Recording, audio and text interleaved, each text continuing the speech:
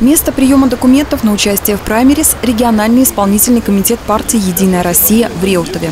Оксана Пушкина пришла сюда в хорошем настроении с пакетом документов. Процедура заняла всего 15 минут. После подачи документов детский обмудсмен рассказала, что одной из причин ее участия в праймерис, а в случае победы и выборов в Госдуму, является недостаточно проработанная база законов по защите прав детей. Этот шаг мне дался не очень просто. Я действительно очень много думала, анализировала и пришла нашла в своей ежедневной вот сегодняшней работе, а, я защищаю миллион триста детей Московской области на протяжении вот последних а, да, месяцев.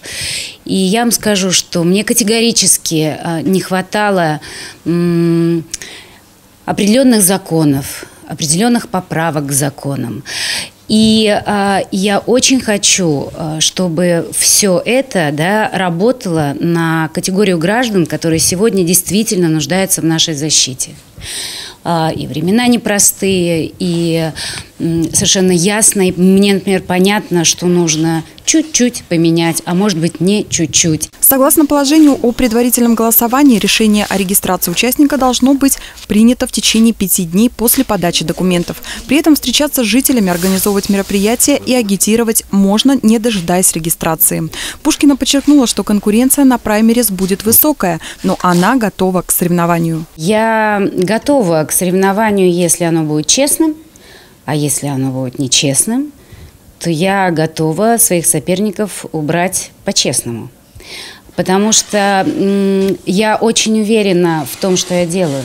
Это очень важно, когда дело, которым ты занимаешься, это часть твоей, твоей души, это твоя, твое нутро, и это твое призвание. Вот когда ты это понимаешь, а, когда у тебя все складывается в порядке, то конкуренты не страшны.